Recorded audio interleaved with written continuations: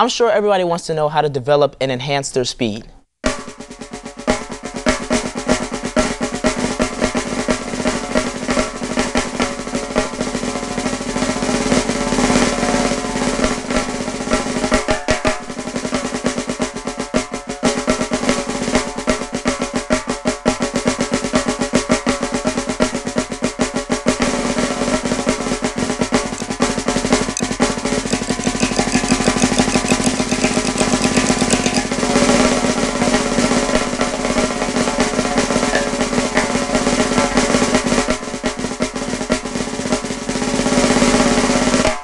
Basically what I like to do is practice basic rudiments such as singles, doubles, and paradiddles for long periods of time repetitiously, not only on the drums but also on surfaces with little or no rebound, such as pillows. Also, I like to practice with sticks that are a little heavier than what I usually play with, such as marching band sticks. This will help build up the strength within your wrist and arms. And also I like to stretch too.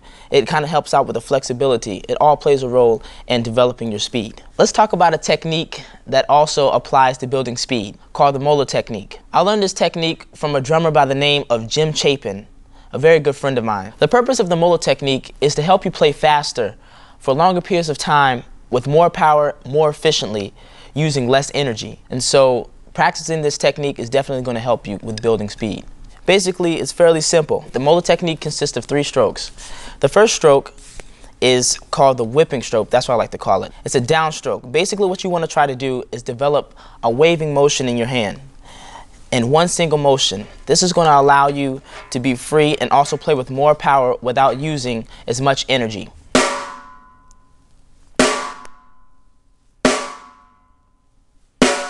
Make sure you get this whipping action. It's very important. Okay, the second stroke is a tap.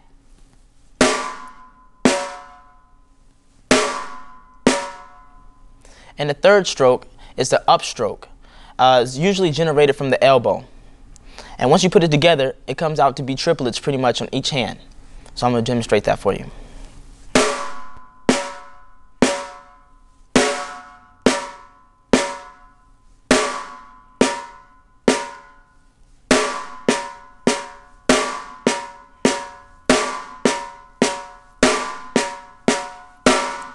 Same goes for the other hand.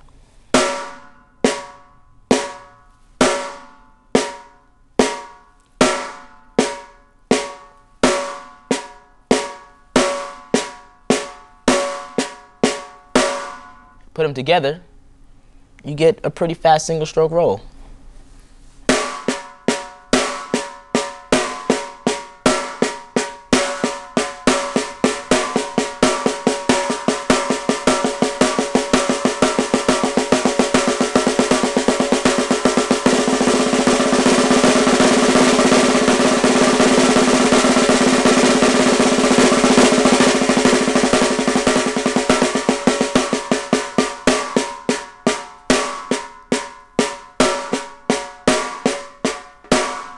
Moeller technique.